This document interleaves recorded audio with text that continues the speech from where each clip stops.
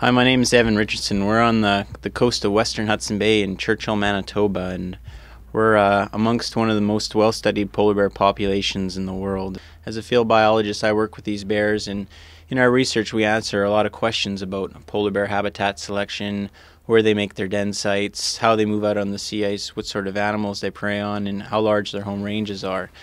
We've done a lot of research on the impacts of climate change, but some of the things we don't know a lot about are things like polar bear physiology, how their nervous system works, how sensitive their hearing is, how sensitive their sense of smell is.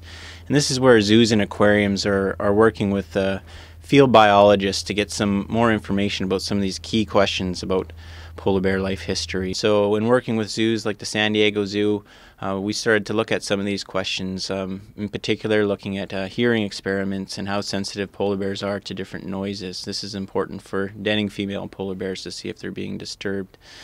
In addition, um, there's work being done on polar bear reproduction. They've actually started doing ultrasounds on polar bears in captivity and learning more about um, uh, implantation of embryos and uh, important things to do with polar bear reproduction. And so um, we're working with uh, Polar Bears International and uh, establishing cooperative working relationships between researchers like myself who work in the field and also people who work with uh, bears and zoos. And together with the support from Polar Bears International, we're starting to learn more about um, polar bears, and together we're trying to make a difference in terms of the conservation of this species.